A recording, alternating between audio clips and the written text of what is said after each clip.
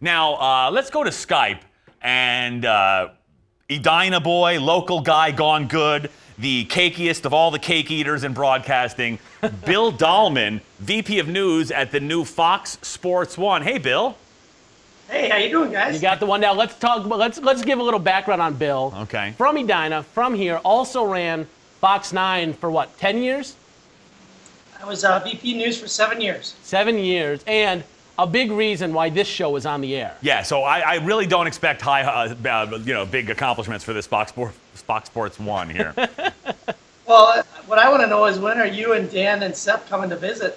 Uh, you know what? Actually, you know what? I I was get- meant to call you. I'm coming end of September. You need to pull out that big Fox travel expense report there and uh, put a couple extra names on it. Right now, Bill. got a- Bill, We got a whole studio lot with four restaurants and and uh, all kinds of stuff. So uh, there'll be plenty of places for you to come and visit. Bill, before we start talking about Fox Sports One and how great this is going to be on Saturday, why are we talking to you? You couldn't get us Regis? Where's Regis? Regis is he's in New York and he refused to fly out here to talk to you on Skype. I don't know why. I tried. I tried. Okay, and you're best friends with Andy Roddick now. Where's Andy Roddick or Donovan McNabb? literally every single night I go and have, you know, I go down to what we call the avocado room Okay. and have dinner with Donovan and Andy Roddick and Gary Payton and Ephraim Salaam. And uh, if I'm lucky, Charissa Thompson comes in, but not very often. So, Bill, tell us what uh, is going to set Fox Sports One apart from your obvious competitors, the uh, the big names in sports TV right now. Well, I think you know there's a the the Alphabet Network is is great at what they do and um, very serious, and I think we see a space for, you know, much like Fox Nine with personalities, information, and fun.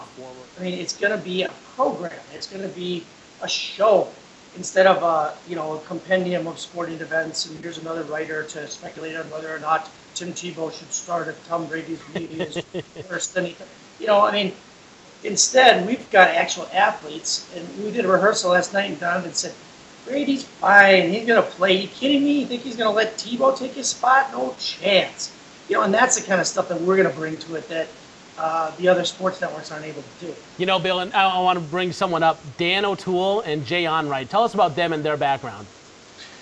Well, they're, they're they're two guys from Canada, and what's that's the that's the risk. But the great part is they already have a camaraderie and a rapport. And I'm telling you, these guys are just naturally funny. I mean, they don't. Uh, it's not scripted funny. It's sort of like uh, well, it's like Tony and Dan. I mean, it's it's naturally funny, interesting conversation, and they watch the highlights just like you and I or Seth and I would watch it on the couch, and they are so freaking funny. So does that does that mean that they hate each other off the air like Tony and I do?